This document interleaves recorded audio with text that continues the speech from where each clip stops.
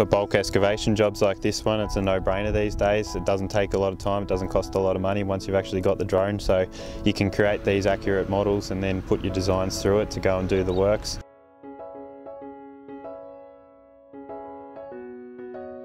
Previously we'd probably put two-man, three-man survey crews on the ground to survey a job like this. Using the drone we've been able to work out earthworks quantities prior to moving into the job, work out where we need to take material from and put material.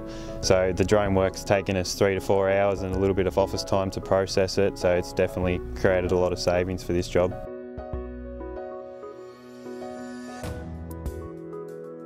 Us building this little bit there where we're going to be, the two or three, four kilometres, um, will allow flows to actually get through to where they naturally should go. So they're basically blocked now by channels, roads, farmers' drains, those sorts of things. Um, and so we're about putting a drain in, but also removes all those obstructions. And that's, that's what we're trying to do.